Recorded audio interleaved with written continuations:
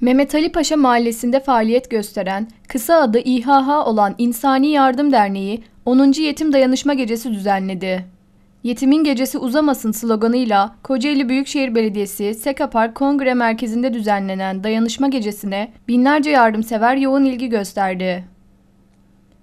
İHH Kocaeli Teşkilat Başkanı Numan Akdeniz, TV41 mikrofonlarına derneğin çalışmalarını, gecenin amacını ve ayrıntılarını açıkladı. Bu yıl 10.sunu düzenlediğimiz Yetimin Gecesi Uzamasın programını icra ediyoruz. 10 yıldır İHH Koca olarak bu programı üstleniyoruz. Ee, TÜGVA ile birlikte salon programını icra ediyoruz.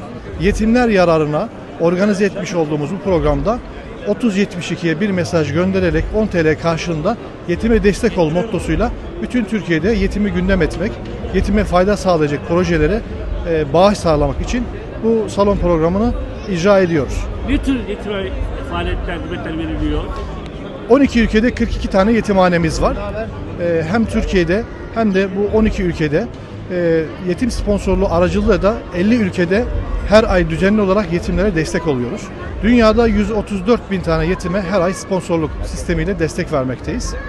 Dönemsel olarak da 1 milyona yakın yetimle her yıl ilgileniyoruz. Bu yetim projeleriyle bu 1 milyona aşkın sayıya ulaşabilmek adına bu tarz programlar icra edip oradaki ihtiyaçlara göre kampanyaları yürütüyoruz. Onlar Kongre Merkezi'nin fuaye salonunda düzenlenen sergi, bağışseverler tarafından yoğun ilgi gördü.